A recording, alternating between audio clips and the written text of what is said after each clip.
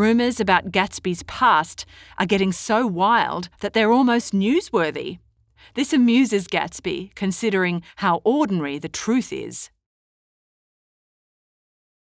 Jay Gatsby was born James Gatz, the son of poor farmers from North Dakota.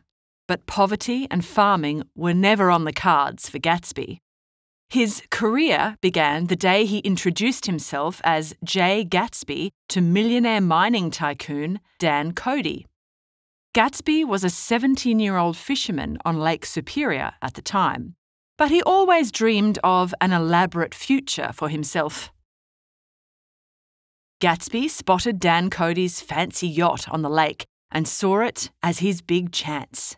He rowed out to warn Cody about an impending storm, flashed his trademark smile, and became Cody's right hand man for the next five years.